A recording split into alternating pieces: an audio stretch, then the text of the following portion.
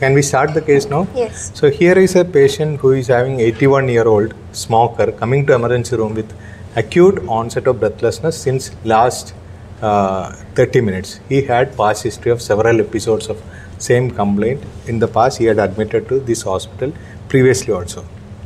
So first we connect the patient to the monitor. Yes, we are connected already. Uh, so in my initial 10 second assessment, I found that the patient is conscious and oriented. yes. He is obeying to my commands Okay. and he's speaking in full sentences in a normal voice. Okay. Now, uh, sir, can you tell me about the airway?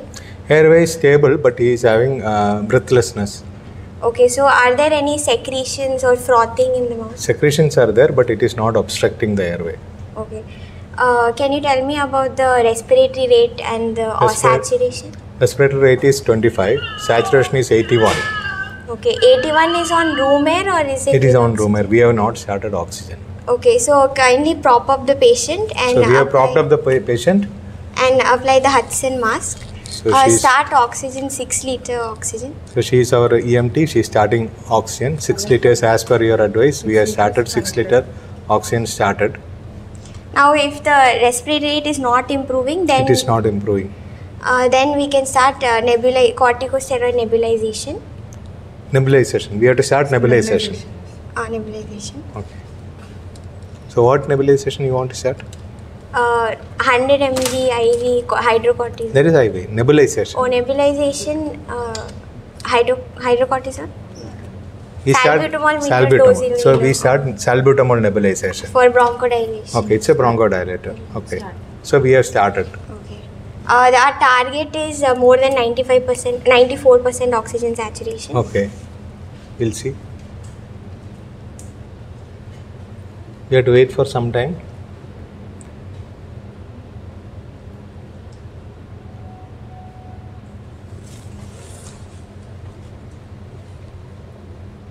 Okay, it reached 90.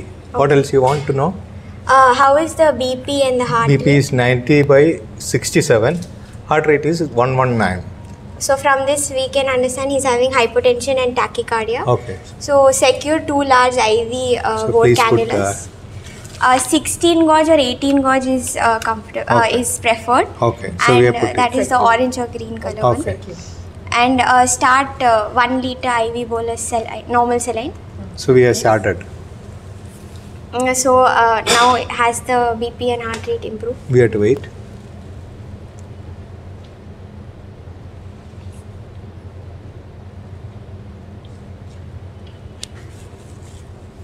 Okay, it's improving.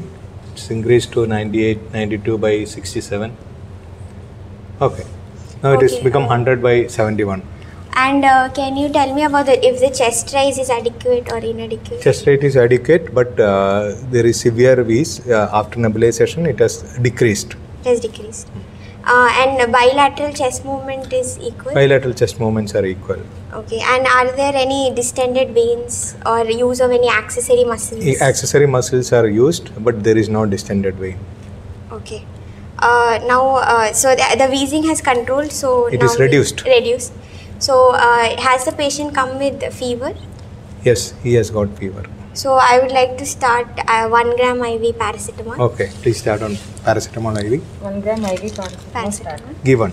Okay. Started. Uh, started. Okay. So is there any associated chest pain for the patient? There is no chest pain. Okay. Uh, uh, now I would like to see the chest X-ray. Okay, we'll take a chest X-ray. The chest X-ray is seen there. Okay, from this uh, X-ray, uh, I would there are some infiltrates in the lower zone Okay. of the left lung. Okay.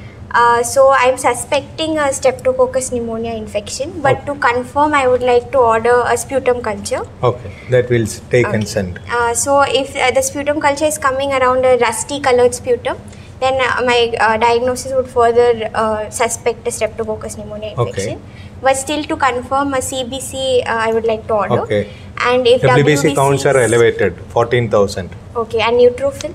Neutrophils are 90%. Okay, so I think bacterial infection is the way to go. Okay. And uh, can you tell me about the procal values? Procalcitonin is 10. So then more procal also suspects more bacterial Okay. infection. Uh, anything about the ABG? ABG shows uh, respiratory acidosis with partial compensation. Okay. So uh, now I, I think we have come to a conclusion that it is uh, bacterial inf- pneumonia due to bacterial infection and mostly streptococcus pneumonia. Okay. And does this patient have uh, any underlying comorbidities? He's a smoker, chronic smoker. He's 81 year old. He's a diabetic. Okay. So if he's a diabetic, uh, so he's having certain comorbidities, then I would like to start him on uh, ceftriaxone, Okay. uh, 125 mg twice daily.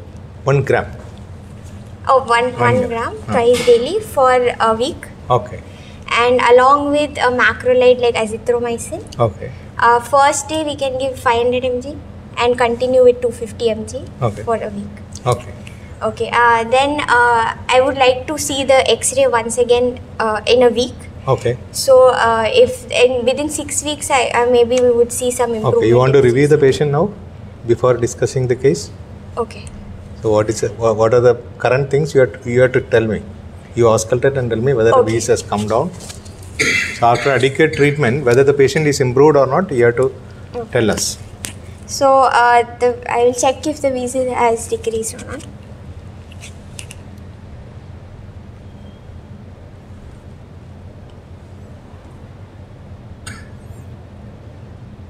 The wheeze has significantly reduced, Reduced, in the lower okay. zone. So that means our uh, nebulization has uh, helped the wheezing to be Okay. reduced. Okay. And now uh, for I would like to percuss tidal percussion to Okay. identify. Okay. So uh, can, uh, Yeah, I you can. You can. So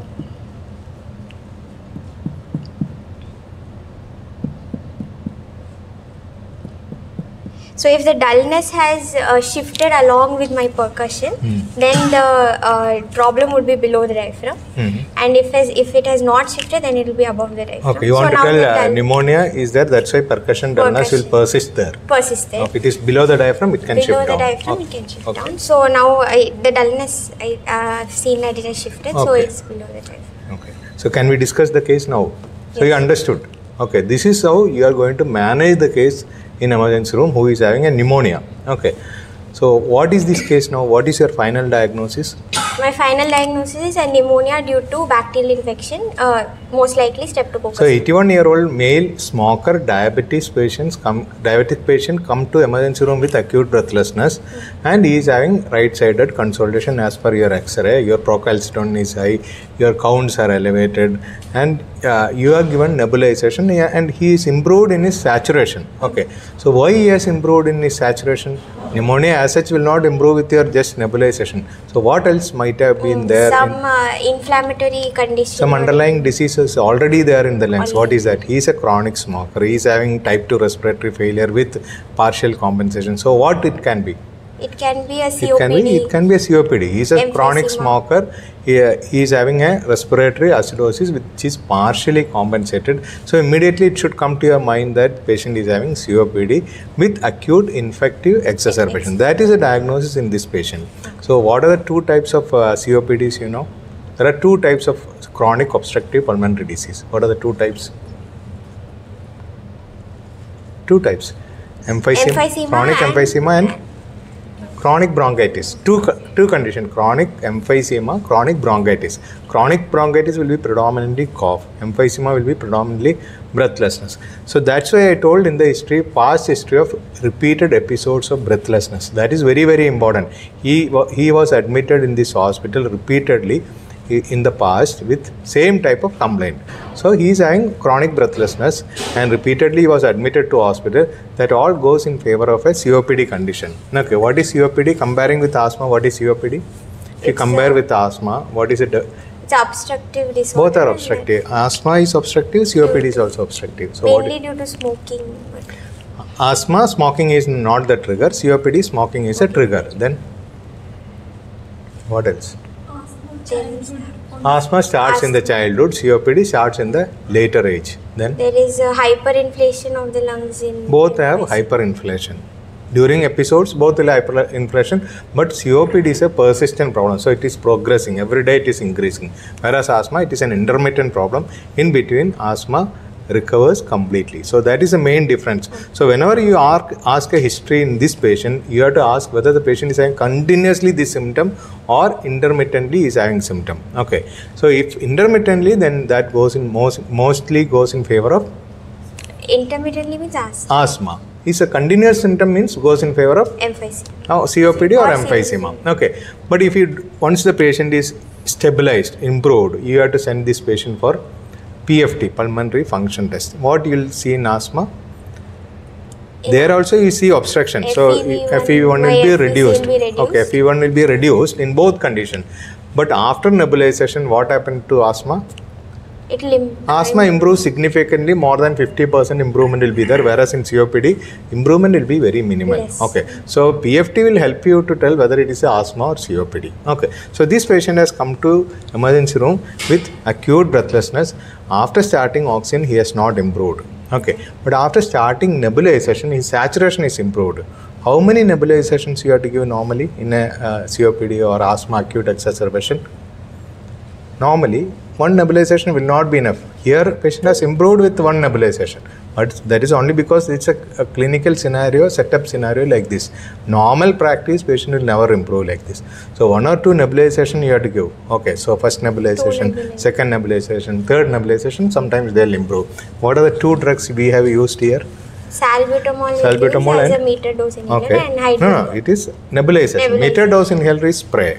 Okay, and uh, hydrocortisone. Salbutamol and ipratropium bromide. These are the two drugs we routinely use, salbutamol and ipratropium bromide. What is hydrocortisone? It's an injectable drug. Okay. So salbutamol and ipratropium bromide is given for nebulization. That both the drugs have got action on the your bronchial It will try to dilate, Dilate the the- dilate the bronchioles. Okay. So that is given. First thing is you gave three nebulizations. Okay. Then what what else you gave after that? Suppose the patient does not improve with your nebulization. What else you can start? Can start BiPAP. BiPAP, NIV. No, uh, what is that NIV? Non-invasive ventilation. What is the action of that?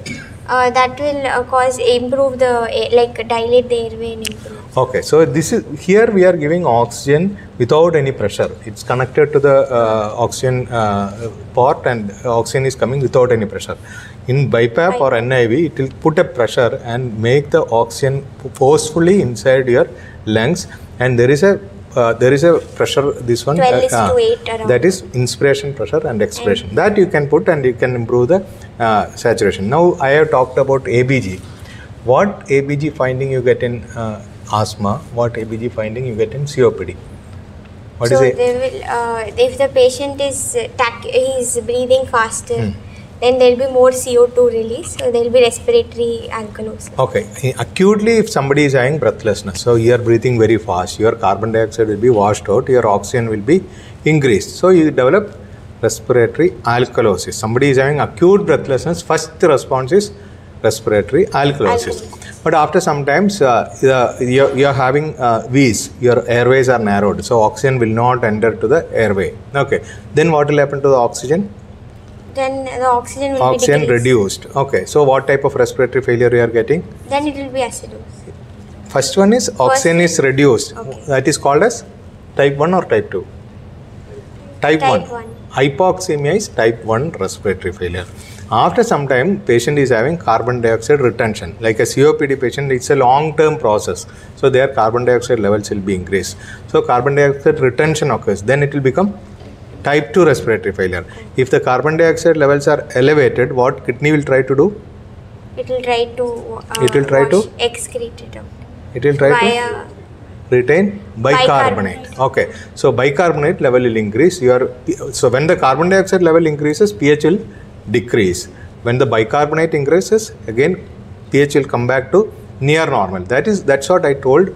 Patient is having respiratory acidosis with partial compensation. Okay, so any patient who is having respiratory acidosis means it's a chronic process. But in asthma, what will- what will happen? It will be only type 1 Type one respiratory. COPD, it will be type 2 respiratory failure with acidosis with partial compensation. Okay, so that's what we are taking ABG. Now we have discussed about WBC count. Why it is important? How do you differentiate between asthma and COPD in WBC count? Asthma is always a It's a hypersensitivity. It is an reaction. inflammatory reaction. It's a hypersensitivity reaction. So So, lymphocyte so will- lymphocyte or eosinophil count will be Will be elevated. Okay. Whereas in COPD, it's almost a infective, Infective. exacerbation. So what will be elevated there? Neutrophils. Neutrophils will be elevated. So in that sense, it also help you to make a diagnosis. Then you asked about procalcitonin. What is procalcitonin? Procalcitonin will also im- uh, increase only mostly in bacteria. So bacterial It's infection, procalcitonin will be elevated. So here it is 10. That means a local infection No. is there. So in the lungs. Okay. So that also will tell you whether it's a bacterial, Bacterial. infection or viral infection. So you should know what are the reasons for an infective exacerbation in COPD. What are the reasons? So normal lung. Somebody is having a normal chest. Normal chest means there is no past history of any any disease in the lungs. Suddenly is coming with a community acquired infection. What is a common organism? It is streptococcus. It is gram positive cocci. Mm-hmm. Okay, but whereas in a COPD patient or ILD patient or some other lung disease patient coming with a respiratory disorder, then what are the infections? It can be atypical It can be. H influenza and pneumococcus. Sorry, H influenza and moraxella with your streptococcus. So it can be gram positive or gram negative. That is the main difference that you should understand. Somebody is having a acute infection from community without any major lung disease, it can be gram positive. Somebody is having already existing lung disease, is developing a disease, then it can be gram positive or gram negative. So depending on that, uh, that uh, bacterial flora, you have to select your antibiotic. Okay. Now you have a patient who is having asthma with acute exacerbation. Will you start antibiotic or not? That is the first question. For asthma, we won't We, start. we no need to start. It is not a infective infective. exacerbation. So we no, no need to start any antibiotic. Whereas in a COPD patient, We'll start. we have to start. So to start antibiotic or antiviral. Okay, sometimes you can get H1N1 infection can occur in many patients. So how, how We can do a, a viral PCR to check. PCR can be done, but it On will take nasal- time, no? Uh, nasopharyngeal swab. swab can be taken. That will t- give immediate result for all these things. So if that is a bacterial infection here the counts are elevated. Procalcitonin is high. You are thinking it can be a gram positive or gram negative organism uh, depending on the clinical scenario. What antibiotic you have selected? Uh, I selected a third generation cephalosporin. ceftriaxone. Ceftriaxone what is the coverage it's uh, gram negative. it is predominantly gram negative. But uh, you have you already know that now there is a gram positive possibility gram negative possibility. So you have to cover gram positive ceftriaxone will not cover gram, Gram positive like other anti- antibiotic. It, it has got some coverage. Okay so what else you can add? You have, uh, you have told some other drug what is that Azithromycin. Azithromycin. Macro- Azithromycin is a macrolide. It has got a predominantly gram positive coverage, and your ceftriaxone covers gram negative. So that is called as empirical therapy in pneumonia. Uh, as a first line therapy, you, you select a gram positive drug, you select a gram negative drug, and start the treatment. Now you have talked about atypical pneumonia. What is atypical pneumonia? Atypical pneumonia is usually uh, the, the infiltrate will not be uh, like in a zone. It will be interstitial infiltrates, Okay. And it's usually caused by chlamydia, legionella, mycoplasma. Okay. And uh, to detect it, you can use uh, like viral antigen testing. Okay. That will specifically. You, what you have told is typical means it will be only one area. Yeah, Atypical means it throughout. But we don't have a chest X-ray. A patient is coming to emergency room or in a primary care setting, secondary care setting where X-rays are not uh, available like that, like this. Okay, so what do you do? Clinical symptoms are very important. What is typical pneumonia?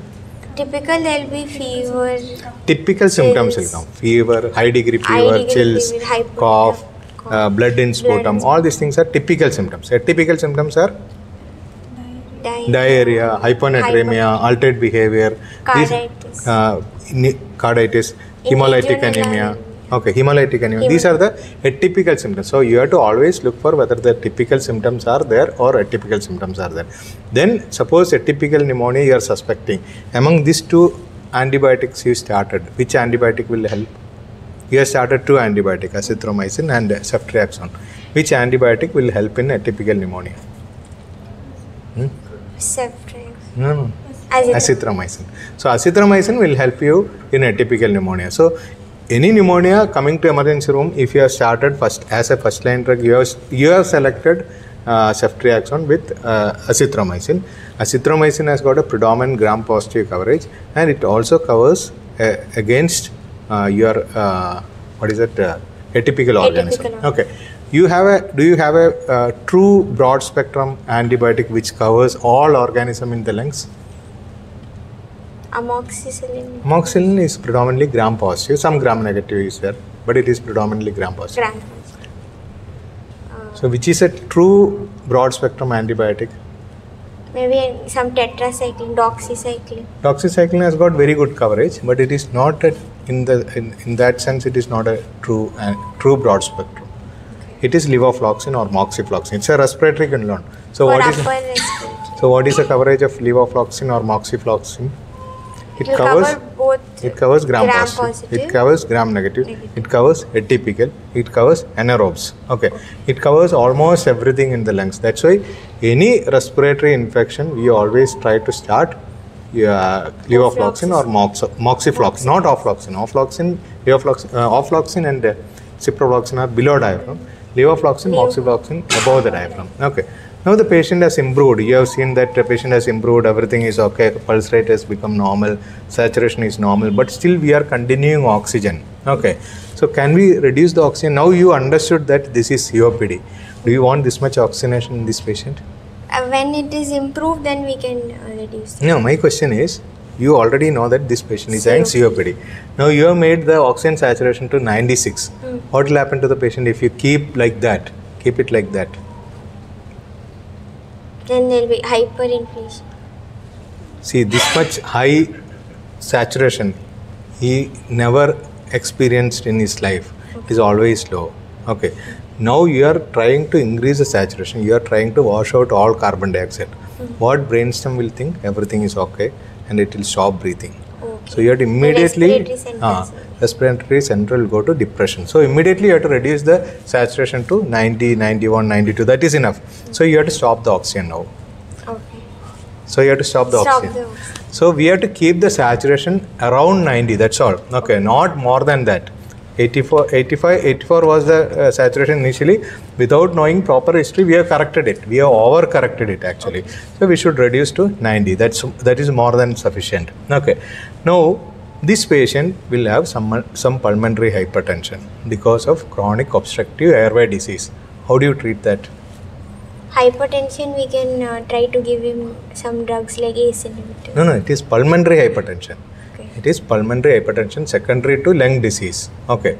So in that condition, you have to give minimal oxygen. Minimal oxygen is long-term oxygen therapy. What is long-term oxygen therapy? So A you give two dose lower dose, time. two liters oxygen continuously we have to give. Okay. So that prevents the pulmonary hypertension. That prevents right ventricular failure. Okay. That is called as right ventricular failure secondary to lung disease is called as cor pulmonale. Okay, so we have to treat that. We have to prevent that. So to prevent that, we have to start oxygen.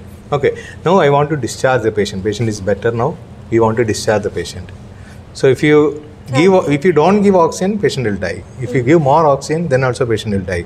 So you have to, uh, you have to Give a play in between. dose for a longer period Okay, of so low dose for a longer period that is called as LTOT, long-term oxygen therapy. Now I want to discharge the patient. So uh, first I will make sure his respiratory rate, BP, everything, and is normal so the heart rate is 85 saturation is 90 uh, uh, bp is normal Mm. So yeah, then I'll advise him to uh, continue on these antibiotics. so antibiotic we want to make orally what oral antibiotic you can give we have discussed so many things now i want to discharge you cannot give ceftriaxone orally Mm.